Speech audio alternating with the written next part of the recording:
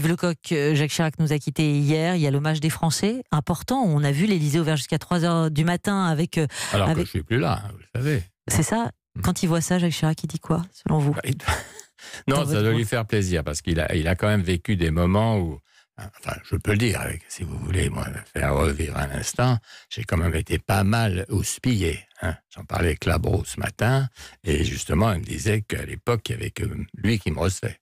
Euh, à l'époque difficile de ma carrière. Après, bon, quand on devient président, on oublie.